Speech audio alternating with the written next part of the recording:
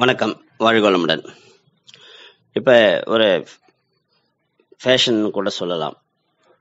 ஒரு ரொம்ப நாங்கள் எங்கள் வீட்டில் நாட்டு சக்கரம் தான் உபயோகப்படுத்துகிறோம் நாங்கள் எங்கள் வீட்டில் வெள்ளைச்சீனி உபயோகப்படுத்துறதில்ல. நாங்கள் எங்கள் வீட்டில் வெள்ளையாக இருக்கிற பொருள்லாம் தவிர்க்கிறோம்.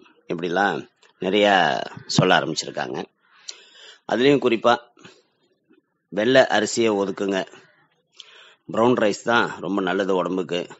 என்று சொல்லி இன்னும் கொஞ்சம் ஆரோக்கிய விரும்பிகள் அதை தீவிரமாக கடைப்பிடிக்கிறதுக்கு ட்ரை பண்ணுறாங்க இப்போ நம்ம இந்த தலைப்பில் பார்க்க போகிறது ப்ரௌன் அரிசியும் வெள்ளை அரிசியும் வேறு வேறா. இல்லை வேறு வேறு இடத்துல கல்டிவேட் ஆகுதா? என்ன புரியாத ஒரு குழப்பத்தில் இருக்கிறோம். அதை சரி பண்ணிக்கிறதுக்கு தான் இந்த பதிவு. ப்ரௌன் அரிசிங்கிறது தவிடு நீக்காத அரிசி. நாம் தற்போதும் சாப்பிடும் அரிசி தவிடு நீக்கப்பட்டு வெள்ளை நிறத்துக்காக நன்றாக பாலிஷ் செய்யப்பட்டு பிரவுன் அரிசி எனப்படும் தவிடு நீக்காத அரிசியில் பல்வேறு சத்துக்கள் உள்ளது. அரிசியில் பாலிஷ் செய்யும் போது இந்த சத்துக்கள் நீக்கப்பட்டு விடுகின்றன முதல் தொடக்கத்தோட இதை ஆரம்பிப்போம். சரி பிரவுன் அரிசி யாருக்கு ஏற்றது என்ன பார்த்தோம்னா அனைவருக்கும் ஏற்றது. வெள்ளை அரிசியை காட்டிலும் அதிக நார்ச்சத்து கொண்டது. பிரவுன் அரிசி உடல் எடையை குறைக்க நினைப்பவர்கள் அதிக உடல் உழைப்புள்ள வேலைகளை செய்பவர்கள் விளையாட்டு வீரர்கள் ஜிம்மில் ஒர்க் அவுட் செய்பவர்கள் என்கிற மாதிரியான ஹெவி ஒர்க் பீப்புளுக்கு இது ரொம்ப நல்லது. இந்த பிரவுன் அரிசியில செலினியம் அதிகம் இருப்பதால் இதய நோய் கீழ்வாத நோய் புற்றுநோய் போன்றவற்றை வரவிடாமல் தடுக்குகிறதுங்கிறது முக்கிய குறிப்பு. உடலில் சேரும் கெட்ட கொழுப்பை கரைப்பதற்கும் நரம்பு மண்டலங்கள் சீராக செயல்படுவதற்கும் மெக்னீசியம் அவசியம். நாள் ஒன்றுக்கு தேவையான மெக்னீசியத்தில் எண்பது சதவீதம் ஒரு கப் ப்ரௌன் அரிசியில் கிடைத்து விடுகிறதுங்கிறது. ரொம்ப பெரிய பிளஸ் பாயிண்ட்னு சொல்லலாம் அதுக்கு. ப்ரௌன் அரிசி ரத்தத்தில் சர்க்கரையின் அளவை மெதுவாக ஏற்றும். இந்த அரிசியின் கிளைசமிக் இண்டெக்ஸ்னு சொல்றது. வெள்ளை அரிசியை விட ரொம்ப குறைவா இருக்குது. எனவே சர்க்கரை நோயாளிகள் இல்ல ப்ரோன் டு டயபெட்டிக்ஸ் நிலையில இருப்பவங்க உடல் பருமன் பிரச்சனைகளால கஷ்டப்படுறவங்க இந்த ஒயிட் ரைஸை தவிர்த்துட்டு ப்ரௌன் அரிசியை சாப்பிட்லாம்னு சொல்றாங்க. குழந்தைக்கு சிறு வயதிலிருந்தே ப்ரௌன் அரிசியை கொடுத்து பழக்குவது நல்லது. உடலில் வளர்ச்சிதை மாற்றம். சீராக நடப்பதற்கும் தேவையான ஊட்டச்சத்து கிடைக்கவும் ப்ரௌன் அரிசி வழிவகை செய்கிறது. செரிமான திறன் பிரச்சனை உள்ளவர்கள் வயிற்றுப்போக்கால் அவதிப்படுபவர்கள் ப்ரௌன் அரிசியை தவிர்ப்பது நல்லது. சரி ப்ரௌன் அரிசியை எப்படி சாப்பிடலாம்? ஏன்னா ப்ரௌன் அரிசியை வெள்ளை அரிசியை காட்டிலும் அதிக நேரம் வேக வைத்து பயன்படுத்த வேண்டும். ப்ரௌன் அரிசியை சாம்பார் சாதம் தயிர் சாதம்னு நம்ம ரெகுலரா செய்யற கலவை சாதங்களுக்கு பயன்படுத்தலாம். ப்ரௌன் அரிசியை மாவாக அரைத்து எண்ணெய் சேர்க்காமல் தோசையாக சுட்டு சாப்பிட்டால் நல்ல பலன் கிடைக்கும்னு சொல்றாங்க. இருந்தாலும் தோசை வேண்டாம்ங்கிறது என்னோட கருத்து. வேக வைத்த அரிசி சாதத்தை அப்படியே விழுங்கக்கூடாது நன்றாக மென்று சாப்பிட வேண்டும். சரி அப்ப வெள்ளை அரிசி யாருக்குப்பா நல்லது? பிரவுன் அரிசி மட்டும்தான் நல்லதா? கேட்டா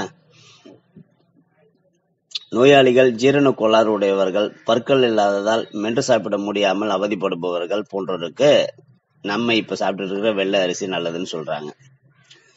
சோ அதனால இதுல சில சத்துக்கள் இல்லைங்கிற காரணத்தை தவிர மீதி எந்த பெரிய பாதிப்புகளும் இல்லை. இது யார் வேணாலும் சாப்பிடலாம்.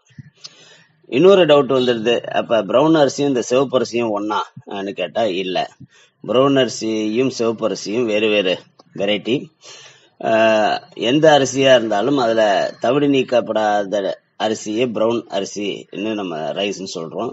தவிடு நீக்காத சிகப்பு அரிசியை பிரவுன் சிவப்பு அரிசி என்கிறோம்.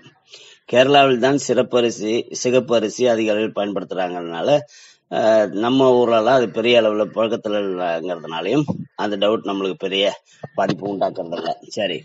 அப்ப இந்த ப்ரௌன் ரைஸுக்கும் ஒயிட் ரைஸுக்கும் உள்ள டிஃபரன்ஸ் என்னன்னு பார்த்தோம்னா ஒரு நூறு கிராம் ரெண்டு அரிசியும் எடுத்துக்கிட்டு வேல்யூவேஷன் பண்ணி பார்த்தோம்னா கலோரி வேல்யூங்கிறது வேக வைத்த ப்ரௌன் அரிசியில் நூற்றி பன்னெண்டு கலோரி அதே பாலிஷ் செய்யப்பட்ட ஒயிட் ரைஸில் நூறு கிராம்ல நூற்றி முப்பது கலோரி இந்த கலோரி கூட ப்ரௌன் ரைஸில் கம்மியாக இருக்கிறதுங்கிறது ரொம்ப கூடுதல் பெனிஃபிட்னு சொல்லலாம். அதே போல் கார்போஹைட்ரேட் என்கிறது twenty three point five one gram இதில் பார்த்தோம்னா நம்ம பாலிஷ் செய்யப்பட்ட அரிசியில் இருபத்தெட்டு புள்ளி ஐம்பத்தொம்போது புரதசத்து புரோட்டீன் என்ன பார்த்தோம்னா டூ பாயிண்ட் த்ரீ டூங்கிறது ப்ரௌன் ரைஸ்லையும் டூ பாயிண்ட் த்ரீ எயிட்டுங்கிறது பாலிஷ்டு ரைஸ்லையும் இருக்குது. கொழுப்பு அதாவது ஃபேட்ங்கிறது பாயிண்ட் எயிட் த்ரீ கிராம்ங்கிறது ப்ரௌன் ரைஸ்லையும் பாயிண்ட் டூ ஒன் கிராம்ங்கிறது ஒயிட் ரைஸ்லையும் இருக்குது இது எல்லாமே நார்ச்சத்துங்கிறது ப்ரௌன் ரைஸ்ல மட்டும்தான் இருக்குது ஒன் பாயிண்ட் எயிட் கிராம் கால்சியம்ங்கிறது டென் கிராம்ஸ் இருக்குது இது ப்ரௌன் ரைஸ்ல ஆனா அதே ஒயிட் ரைஸ்ல மூணு கிராம் தான் இருக்குது. மெக்னீஷியம்ங்கிறது ஃபார்ட்டி ஃபோர் கிரா மில்லிகிராம் இருக்குது ப்ரௌன் ரைஸில் ஒன்லி தேர்ட்டின் மில்லிகிராம் தான் இருக்குது இது ஒயிட் ரைஸில் நம்ம தயாமின்னு சொல்லக்கூடிய இது விட்டமின் ப்ரௌன் ரைஸில் பாயிண்ட் ஒன் ஜீரோ டூங்கிற மில்லிகிராம்லேயும் ஒயிட் ரைஸில் பாயிண்ட் ஜீரோ டூ ஜீரோ மில்லிகிராமும் இருக்குது.